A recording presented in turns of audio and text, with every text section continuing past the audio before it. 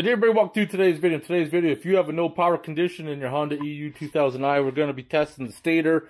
However, even with a good multimeter like I got, the resistance values are so low that uh, even mine won't not read the proper readings. However, I know this thing generates power. But I'm going to say, as long as you're close, you shouldn't have an issue.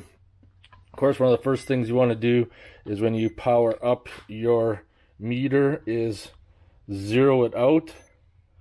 So now I'm zeroed out.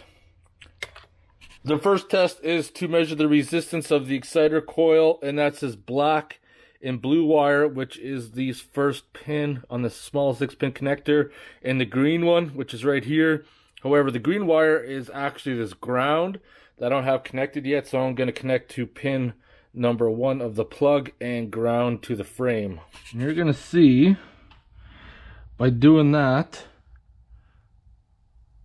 0.3. I'm in spec. Next test is going to be in the subcoil, and that's this big block right here, gray and orange, which is on the end here, and we should see, I believe it is 0.1 to 0.2 ohms, and my specs are right in. So on the big plug here, there's going to be three wires we're going to be testing, red, white, and blue. So there's red and blue on the end, and then the white right there. So first test is going to be red and white. Red is that pin right there. White is right there. And our value should be 1415. And it looks like we're 15. So we're right in spec. Next test is between the red and blue and that's the two end ones. And we should be at a resistance of 1415 and that's what we're at. 1415 we're good. And then finally we're doing white and blue.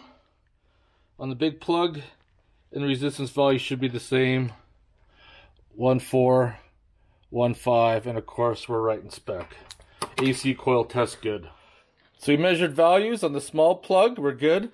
Measured values on the big plug we're good and now we're going to measure values on this small plug in these two brown connectors. The two browns are your DC connector, and we should be between 0.1 and 0.2 ohms. Both brown wires, 0.2. We are good.